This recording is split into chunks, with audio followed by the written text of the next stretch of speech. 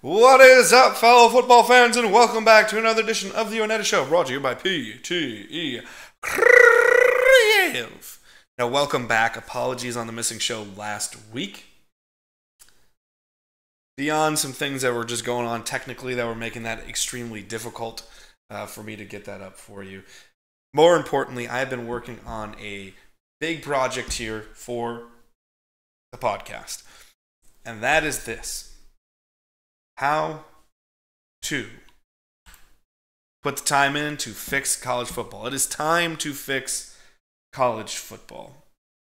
Now, you'll probably be hinted at that the NCAA's got to go and we've got to get closer to that college football playoff model. And you may think, what, what, what do you mean by that? But once we get closer to that college football playoff style model, we'll all have as wonderful a smile as Shedeur Sanders in this picture. Now, going back, I usually stick to professional football on this podcast. It's far more what I love and what I'm comfortable with. However, I do have a a large affection for college football, as it is even closer to the most foundational pieces of what make football such a great sport, what make it such a wonderful, wonderful experience for so many across this country and the world round now, as we're getting to be such more of an international sport. And I'm excited because I'm getting more and more into college football, and I love getting into the nitty gritty of the politics of it, the conferences, how do media deals get made. I love all that stuff. That is why I think it is time to propose something to fix college football. So, this is part one of three. So, part one of this new model we'll be going into suggestions on how to fix college football. Fix in quotations because everyone will have different opinions on that. But how I would personally go about fixing college football to make it a better place for athletes, teams, schools, who would have you. Part two, we're going to get into new conferences. So, yes, I have redivided all 134 FBS schools into new conferences, and that is for very, very good and special reasons for that to make sure that this is a more perfect union. And finally, I'm going to go into a new college football playoff format and why I would be doing the things that I'd be doing to make sure that we get the best possible output into this. Without further ado, it's time. It's time to fix college football, and that is why I have to say, with a wonderful, wonderful oath here. We, the fans of college football, in order to form a more perfect union, establish the College Football Alliance to ensure football tranquility, provide for the common quality, and promote the general welfare of competition, and secure the blessings of Saturday to ourselves and our posterity to ordain and establish this college football alliance. Now, is that a wild way to say that? Of course it is. But it's in order to say that we need a more perfect union. And I thought, why not go to the Constitution just to do it for some fun? Now, there needs to be a disclaimer on all of this. College football already operates extremely well. And by that, we can say it makes plenty of money, we can say that there is general competition, but it's tiered competition for the most part. And that millions and millions of people across this country and now internationally all do enjoy college football in some way, shape, or form. But it is far from perfect. It needs to get better. And it's clear that its governing body is not working for college football, um, which is why I brought this up now I was originally thinking this might be my August show as I'm going on vacation for a long time, so I'm getting a lot of stuff. Uh, I'll be in Alaska for three weeks, so I'm getting a lot of projects done now to make sure that you guys have quality content while I'm gone. Now, there's a disclaimer. The easiest way to say it is this college football will never be perfect, but we can make college football alliance, as I'm calling it, to form a more perfect union, insinuating college football will never be perfect. but we can get closer to that in this. And in this model, I've only gone with the Division 1A FBS school. So that's the 134 that can technically compete for a national championship. Um, Division 1AA, which is the FCS, um, is not, that's the football uh, championship series. That is all your Division 2 schools or Division 1 schools, sort of double A ball. Division 1A is the ones that can actually compete for bowl games and can compete for a national championship. The easiest way to say this is to say the NCAA is not working. We've seen this now in the settlement with a $2.8 billion settlement in which the NCAA is going to be footing 41% of that, which would be far more, frankly. In my personal opinion, the way I read things and the way I do things. Me personally saying that.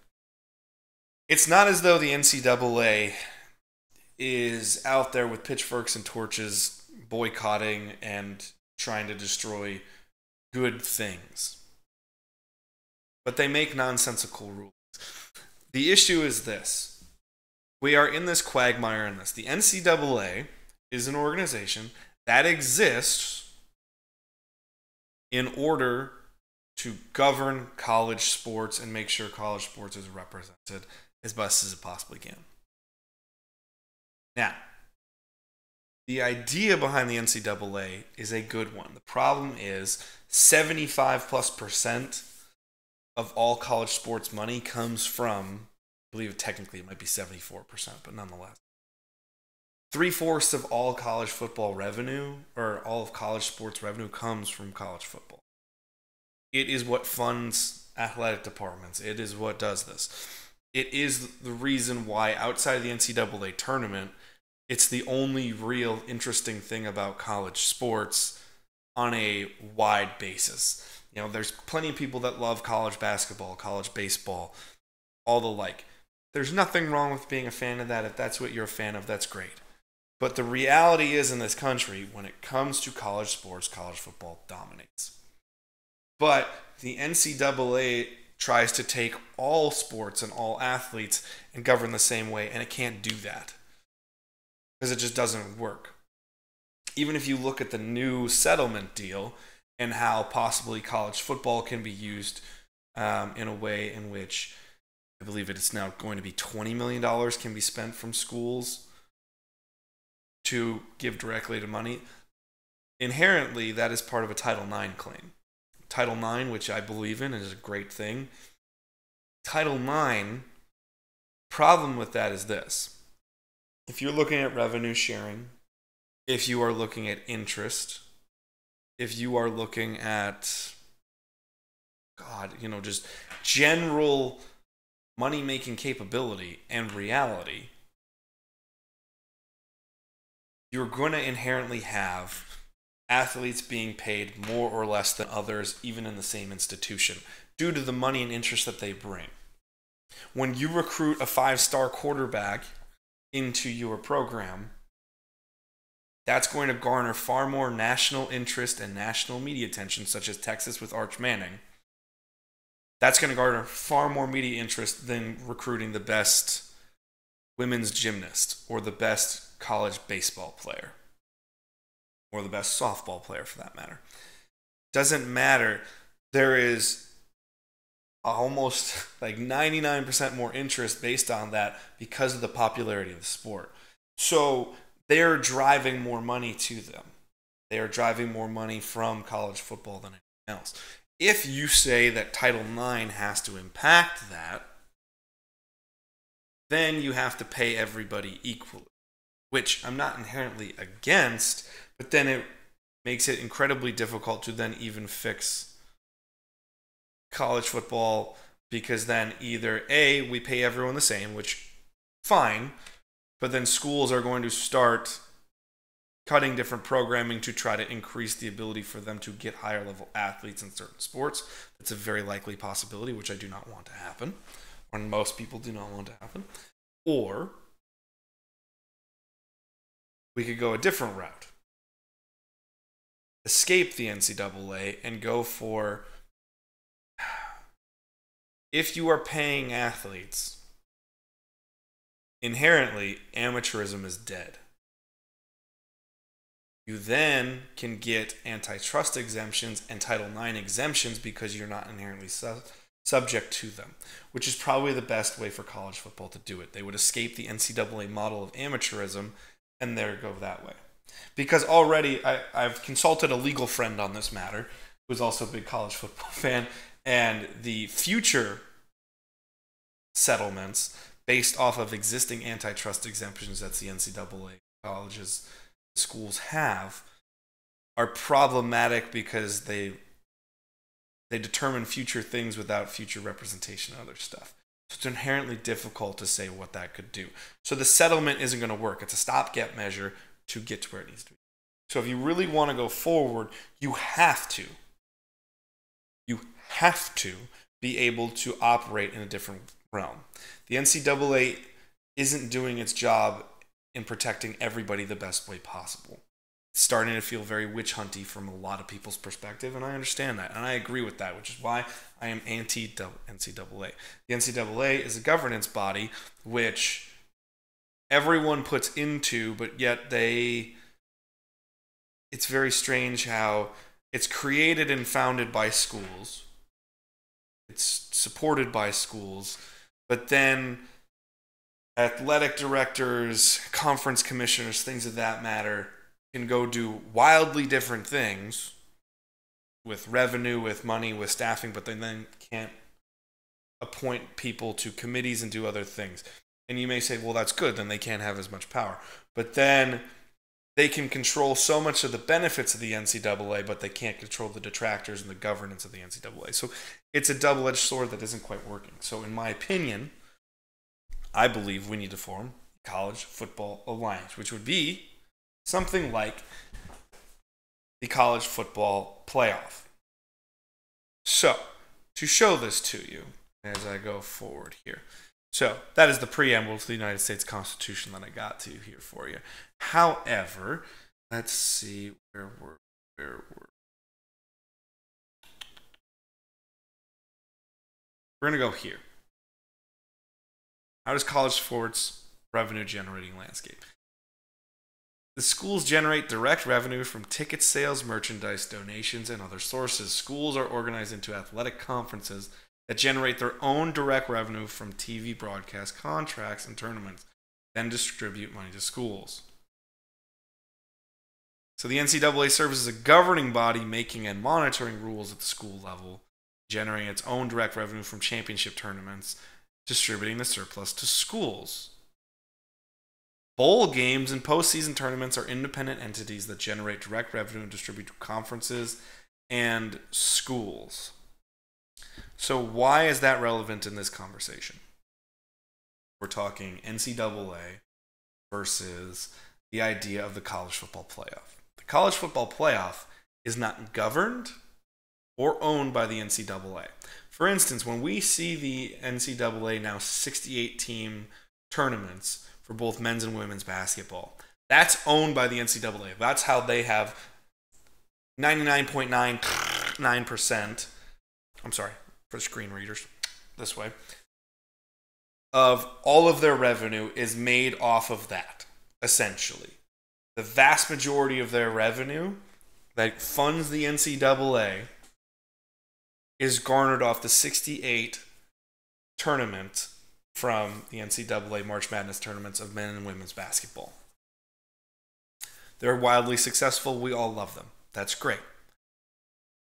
But they don't own the college football playoff. The college football playoff is owned by the 12 conferences and independently by Notre Dame. All the schools and the conferences have a say into how the college football playoff is run. They have their own self governance there to determine that. Is that a perfect system? No.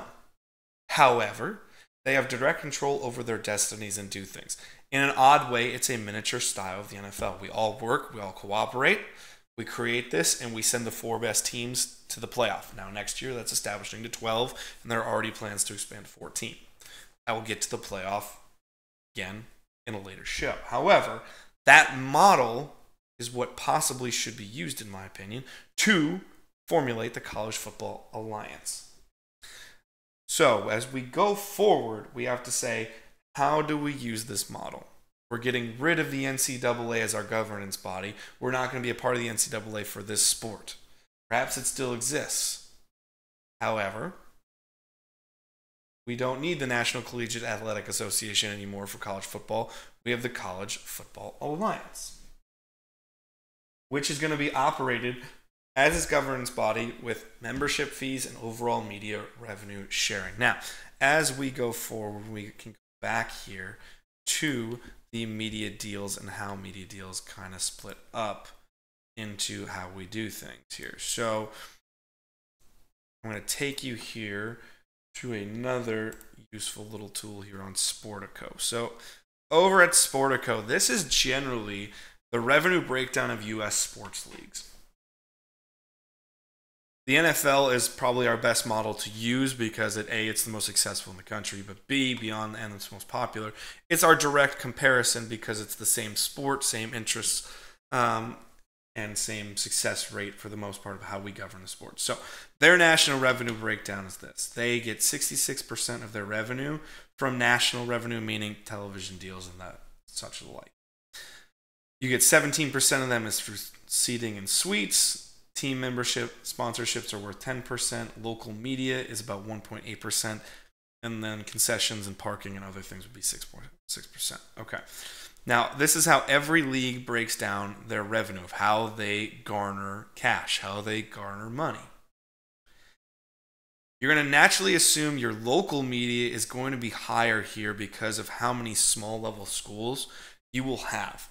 So you'd still be able, as a school, to get local media deals to allow for that, and then you may take part of that and throw it into the football alliance as part of its revenue. So the schools would keep the re- uh, the vast majority of the local media revenue, but they'd go from there. But national television deals are what's really going to drive us here. So let's go forward and let's go here to the list of United States over the air and network. So it's maybe Wikipedia, but it's a very good, useful thing to see. The vast majority of college football's money comes from television. Broadcast television, almost essentially at this point, is held together by sports and news. You can say there are other shows, and that's not disputing that. However, the vast majority of money and the reason broadcast television can still exist is because of sports and news. So you have NBC, CBS, ABC, they all partner with college football, as does Fox. Fox has uh, Big Noon Saturday, and they have Big Noon football, so you're going to be getting that wonderful Big Ten football. The CW can get involved as well. And technically, you could go with PBS, but no one's going to go with PBS. The other thing about My Network TV, it's owned by Fox, although it's technically its own network. It is a subsidiary of Fox which is another option. We also have ESPN in this big deal here. Now, again, it may seem like a bit of rambling, but these are all options. We saw that pie chart down that 66% of the NFL's revenue model comes from television marketing deals. That is why I showed that. Those are all possibles and viable partners to get us to a profitable margin at another place for college football. The idea behind the Football Alliance, I'm only giving you money takes right now so you can see how it could operate. We're going to make the vast majority of our revenue from TV and media, but we're also going to get shares of ticket sales, concession sales, parking sales, local media. You could even get boosters involved if you really would like to. Or you could get private donation if you would like to, because you could easily set this up as a non-profit entity as well, such as the National Football League is, which is absurd to say, but technically it's a non-profit. Someone who's worked for a non-profit before, I can tell you, we don't play for the same rules, but nonetheless, that is how it's set up. So here, you have all these different avenues to make money to govern 134 participating schools in college football. Now, how does this fix college football? One, you are self determining your rules. You can start with conference commissioners and things of that nature going over and helping aid in the rules process while also giving third party people who can then get involved as first party people but have an outside say. So you have outside opinions, outside lawyers, things of that nature who do not have a vested interest in a single conference being successful. And get those third parties to turn into first parties to make the governance fair. Second of all, through revenue sharing splits, let's just pick a number. Let's use the NCAA settlement number. $20 million. I went as low as 10 and then put it in the middle of 15. Each school in the FBS, through revenue sharing, is given $15 million to pay their players. Maybe it could be as low as 10. Maybe you could go lower into 5, 6, what have you. You make it the best reasonable number that you possibly can. But this allows every school from Alabama, Birmingham, all the way up to Alabama. All the way from James Madison, all the way up to Michigan. You have schools that then can start to at least start paying for players a little bit better. And the ironic part is this is once payments can begin theoretically, we can start allowing athletes to have better choices to go to different schools. Now, we will obviously always have powerhouses. That's why I said this will never be perfect. College football can never be perfect. But perhaps with a pool of money that we all share and get along with, such as the NFL model, we can start to begin to even the playing field. So smaller schools may be able to grow their athletic programs and their football programs specifically to be better equipped to compete with these larger schools that are certainly seemingly unstoppable. Even with Nick Saban leaving Alabama, Kalen DeBoer is a phenomenal head coach at a college level. Kalen DeBoer is going to make sure Alabama sticks around as a top 10 team. It's not as if Georgia's ever just going to suck with Kirby Smart. Georgia's going to be a top 10 powerhouse pretty much forever now. You have Texas that'll always be here. Ohio State will always be there. Michigan will always be there. You have your powerhouses that are going to stay that way because they have been that way for 20, 30, 40, 50, 60 plus years. Sure, they've had down periods, but they all make their way back because they are the institutions of the sport. But allowing that 10, 15, 20 million dollars, whatever the settlement that's agreed upon by the 134 schools of the alliance, they all put money in based off the revenues that they all get, and they split it evenly to pay players. Simple as that. So already you're looking at let's see two. So you're looking two hundred and sixty-eight.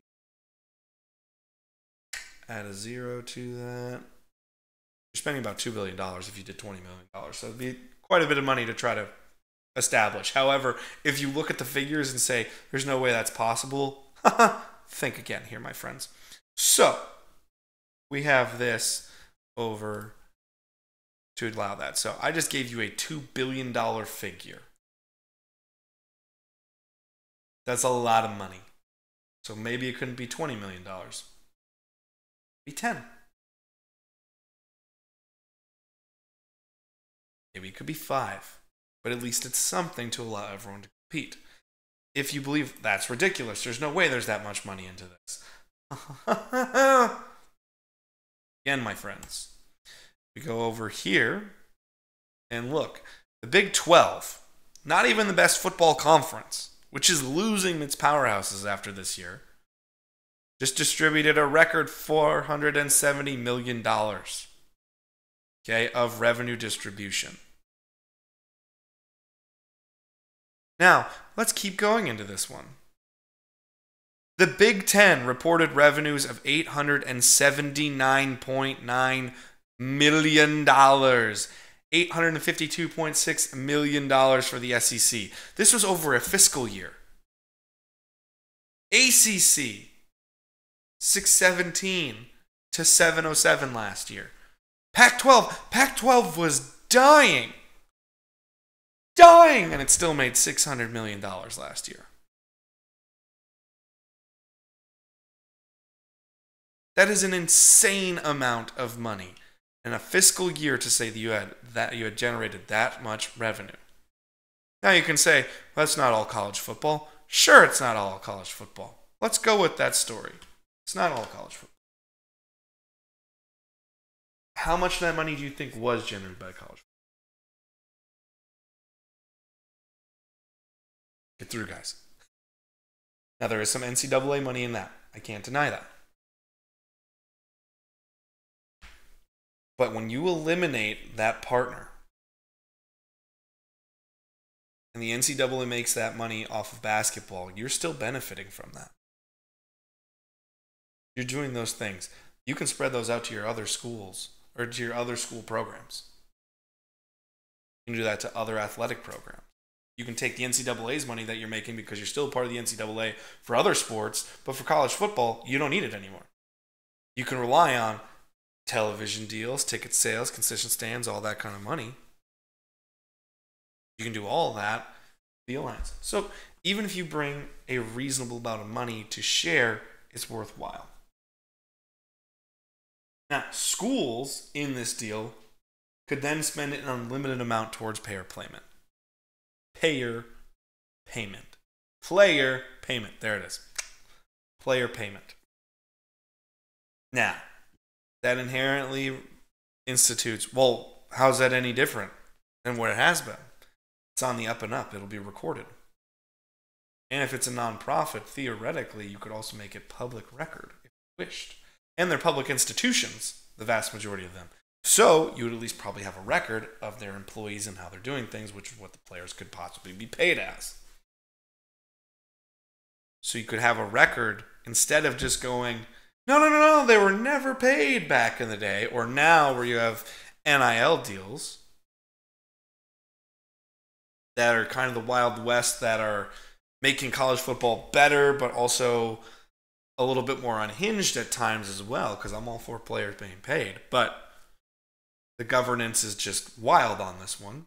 If you want an idea of how wild it is, go listen to Greg Sankey's last comments. He's the commissioner of the SEC go see his latest comments on NIL deals from, I believe, their January meeting.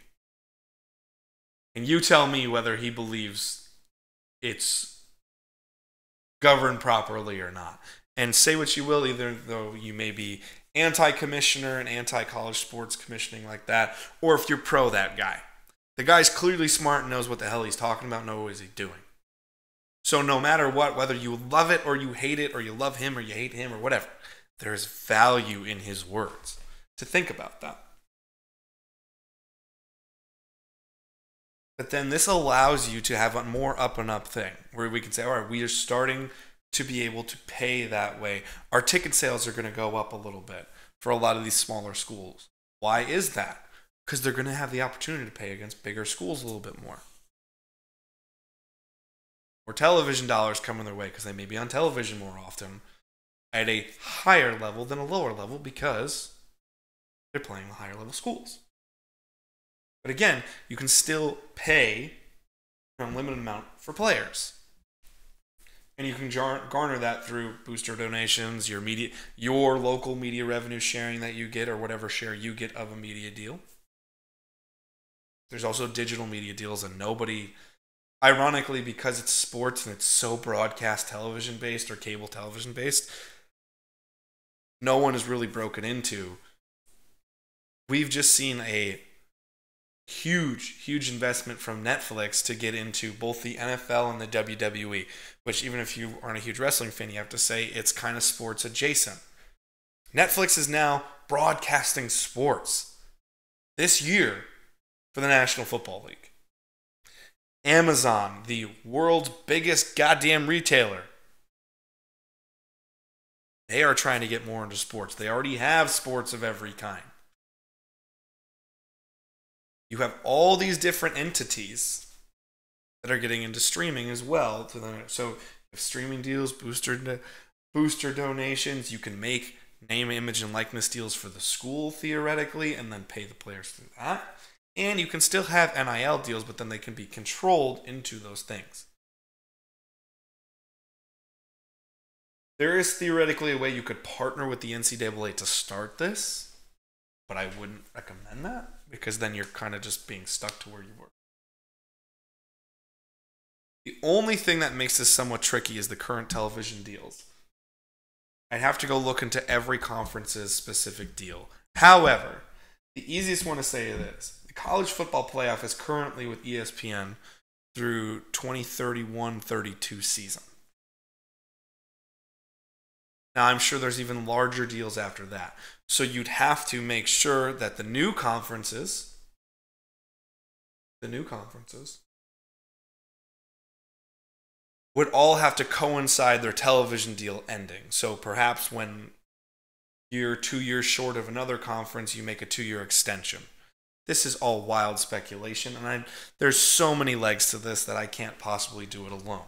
However, these are ideas to help college football. So you'd need to make sure television deals all go forward. You need new scheduling bodies to start, all kinds of things to really get this off the ground and working.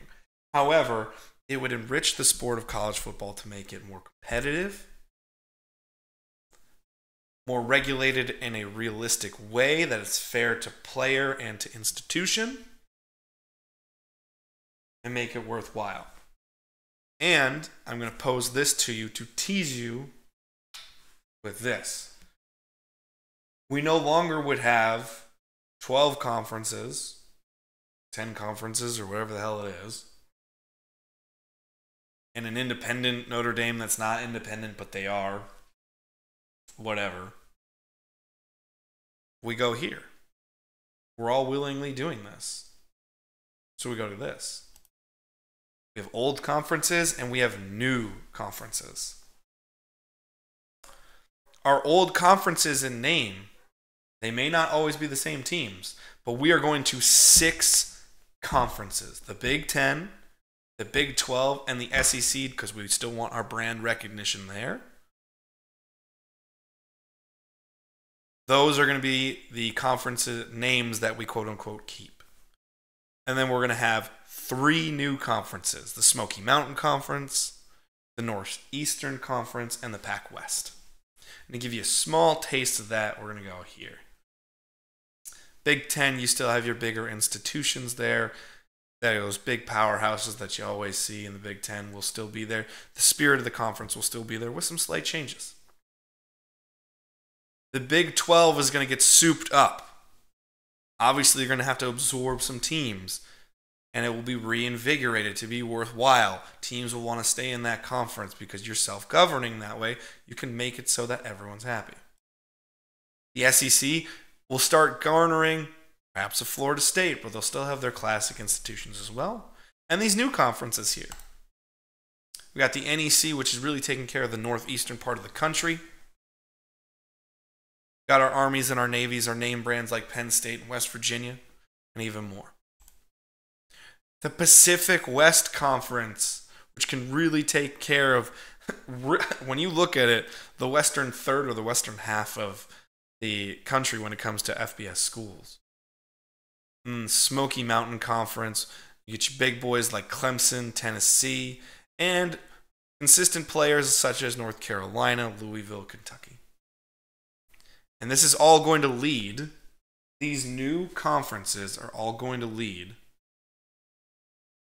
into a 16 team new playoff format. I'm going to tease you with that to go forward. That is going to allow this new college football alliance is going to allow teams to compete with regulated schedules where they don't plan out games 14 years in advance with regulated schedule makers regulated money,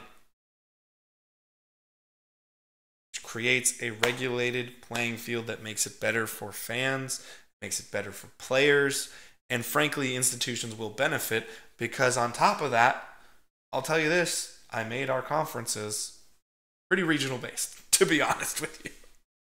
But nonetheless, and keep the tradition and the wonderful history of college football alive while making sure it thrives for the next 25, 50 to 100 years going forward to preserve the sport as best we possibly can. That is how we, friends, are going to fix college football. We're going to eliminate the NCAA and we're going to go to the College Football Alliance, which is based off the idea of self governance from the college football playoff. But it's not necessarily self governance because, once again, you're all pooling together to create a new organization which will form rules for everyone that are agreed upon by everybody. Everyone will have a say, and then everyone's bound to them. And people that work for the organization, the College Football Alliance, not the SEC, not the Big Ten. College Football Alliance will then have the responsibilities to make sure all rules and regulations are followed, player treatment is there, institutional treatment is accurate, and everyone has a level playing field. Make sure that the sport, a wonderful sport known as college football, will last for decades upon decades in quality competition. And we ourselves have the blessed Saturday of fun that we asked for. So, that is part one of three of this college football trilogy, starting with the formation of the College Football Alliance to form a more perfect union of college football. Now, if you liked my work today, before I go into my usuals, I gotta ask you, my friends go check out our other stuff. Monday through Friday, we got all kinds of cool stuff over at our YouTube channel. So if you're listening on Spotify, head over to the YouTube channel. If you're on YouTube, you already know here, just make one click and you go see our other stuff. Monday, we get some cool stuff over with some Pokemon variety and Pokemon pack openings. Tuesday, it's the flagship show, the ONETA show. We're talking gaming, we're talking movies, we're talking anything we want to talk about over on the ONETA show. We do have a little bit of football crossovers, quite a frequent bit over at the ONETA show. Wednesday, you got the Pokemon Bliss and Oblivion Project. Thursday, you're already here. You know it. It's the ONETA football show. I'm giving you genius ideas like the College Football Alliance. And Friday, it's that rotational basis. We got the Adventure Show to plan your next adventure. We got the Brick Builder Show to see some Lego kit builds and have some fun there. We got Pokemon card pack openings again. We got Yu Gi Oh card pack openings. We may even have the first tease. You know what? I'll just straight up tell you. First time ever, we're going to try to get into Lorcana. We're going to do a Lorcana pack opening. Will that be good for me? I have no idea. But you can see it there. And I'm also going to ask you this, folks, it'd be really helpful. If you could, go support us here. Over at Etsy, go to ptecreative.etsy.com and you can get yourself a world of fun merchandise. Make sure that you get yourself something real, real nice and good for yourself. Over there at the Etsy shop, we've got a bunch of cool stuff. We got hats, we got stickers, we got t-shirts, we got hoodies, we have our own fashion line, we have stickers for the football fan. We're gonna have some more college football merch soon. We're all gonna have lots of fun stuff. If you're over there, go buy yourself some wonderful stuff, some wonderful merch, and support PT Creative business model if you will. It helps me and every person who works and helps me with Creative, PTE Creative, because we're just all artists that want to make cool content for all of our friends and family and friends and family on the internet, which we love dearly. So, I hope you enjoyed part one of three of this college football trilogy. Hopefully, we don't have to break this up, but if we get some major, major football news, college or professional related in the NFL. We may have to break it up, but I'm going to try to make sure we get a week to week to week one, which is going to be very fun for everybody over there. This has been part one. If you enjoyed it, like, comment, subscribe, send us a review on Spotify, share this with as many fans as you can. If you think this is a stupid idea, tell me. If you think this is a genius idea and you have a better way to explain it, tell me. We're here to fix college football. It'd be great. Go check out our socials over on TikTok and Instagram as well, and over at Etsy shop to get yourself some cool merch, because that would be super dope if you could do that. But once again, thank you all so, so much for listening and watching. It is appreciated. Coming over on the other show, we got some more Smash Bros. talk. We got more pack openings on Monday coming, and we're going to have that new Lorcana opening on Friday, and we got new Pokemon on Wednesday. So go check out the rest of our content over on YouTube. It's going to be fun for you, and enjoy it. That has been this episode of the ONETA Football Show. I am your host, Evan Davies, signing out from PTE Creative. Peace, love, and hugs to everyone on the internet for a blissful Saturday of college football eventually. Peace.